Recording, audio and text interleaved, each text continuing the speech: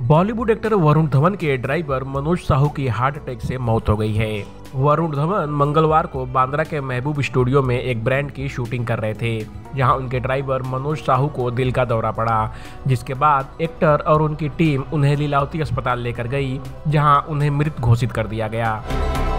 वरुण धवन अपने ड्राइवर मनोज साहू की मौत के बाद लीलावती अस्पताल में रुके और अपनी टीम से बात करते नज़र आए। काफ़ी समय तक रुकने के बाद वह अस्पताल से निकल गए। रिपोर्ट के अनुसार मनोज साहू लगभग 15 सालों से वरुण धवन के साथ थे। उनके डेब्यू से पहले वो उनके पिता डेविड धवन के साथ हुआ करते थे। लीलावती हॉस्पिटल के डॉक्टर अजय पांडे ने मनोज साहू के मौत की पुष्टि की। वही डेविड धवन ने भी बेटे वरुण धवन से बात की और उन्हें सांत्वना दी। रिपोर्ट की माने तो वरुण धवन और उनके परिवार ने मनोज साहू के परिवार की देखभाल करने का फैसला लिया है।